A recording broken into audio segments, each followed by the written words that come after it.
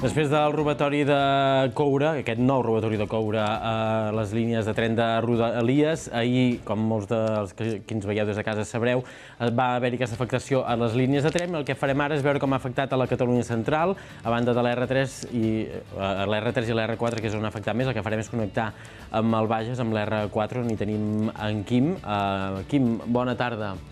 Un altre dia de caos, a més a més que avui era feiner, eh?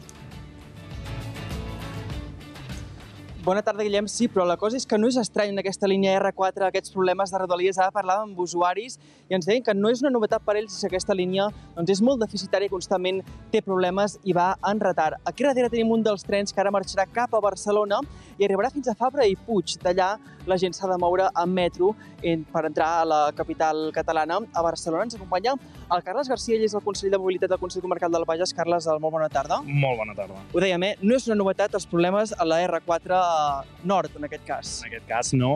Ja és un greuge més o una incidència més en aquesta llista inacabable d'incidències en la R4 nord.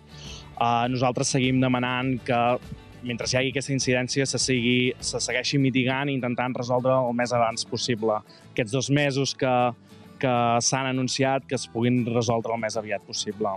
Uh, Carles, uh, vosaltres us queixeu eh, d'aquesta línia R4 Nord, que no, no, no compleix amb els horaris, uh, sempre té retards, hi ha qualsevol altre problema, sempre està afectada. Des del Consell Comarcal, però, podeu fer poca cosa vosaltres. Exacte, nosaltres no som titulars del servei, uh, és Ministeri de Transports qui és titular i nosaltres el que fem és seguir reivindicant uh, aquestes millores que necessita la, la línia, sobretot des del punt de vista d'infraestructures, però també des de la gestió i informació a l'usuari en cas d'incidències. I pel que fa als usuaris, si se'ns queixes a nosaltres, el que fem és transmetre les queixes al, al titular del servei, al Ministeri de Transports, i seguir lluitant per aquesta millora de la mobilitat i de les infraestructures a la nostra comarca. Com pot millorar Manresa aquesta R4? Em deies, el traspàs de, de Rodalies, però això pot passar molt temps fins que sigui una realitat. Exacte, però tot i així no hem de perdre el llarg termini que ens solucionarà el curt termini.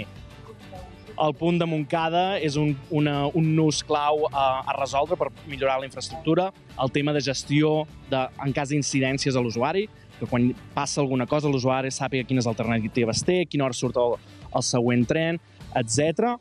I també ja de cara al llarg termini el que és el servei, uns millors trens, més trens, eh, aquestes són les grans línies estratègiques que necessita la R4. Com perjudica a la comarca eh, una línia tan deficitària? Doncs eh, perjudica que la gent de dia a dia, la que va a treballar, no pugui no pugui organitzar-se, no pugui saber a quina hora surt, a quina hora arribarà a la feina, amb l'angoixa i les preocupacions que, que això comporta. I és aquí on hem de seguir lluitant i posant èmfasi de que això s'ha de solucionar pel bé dels nostres ciutadans. Uh, després d'aquests dos mesos, suposo que esperareu a que la varia es resolgui, però no sé si fareu alguna reclamació concreta al Ministeri de Transports. Uh, des del Consell Comarcal doncs, um, o sigui, enviarem la nostra preocupació i la nostra, i la nostra queixa i uh, seguir pressionant perquè això se solucioni el més aviat possible i que no es torni a repetir. Doncs gràcies, Carles, per explicar-nos avui aquesta situació des del Consell Comarcal.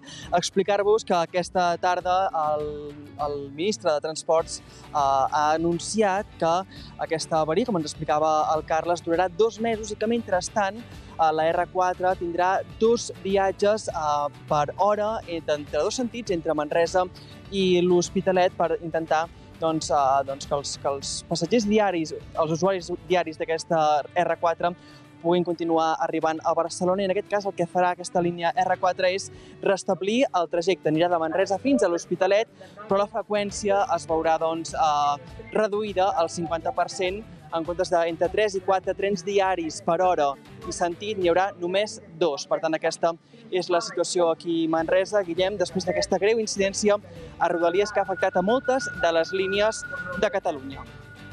Incidència que, que greuja, no? com dèieu, a, a les incidències que hi ha habitualment. Ara veiem que es tanquen les portes de darrere teu. No sé si aquest tren ja, ja començarà a baixar cap a, cap a Barcelona. No sé quina hora està previst sortir. No sé si... Mira, ara surt. No sé si, no sé si va l'hora, Quim. No sé quina hora està previst que sortís ara aquest mateix. tren. Ai, 24, són i 25, per tant li doneu un marge d'un minut, aquest va puntual. Home, per, ser, eh, per, per alguns usuaris això seria uh, gairebé eh, una excepcionalitat, no? aquest, aquest retard uh, tan breu. Doncs moltes gràcies, Quim, per explicar-nos-ho, uh, que vagi bé fins demà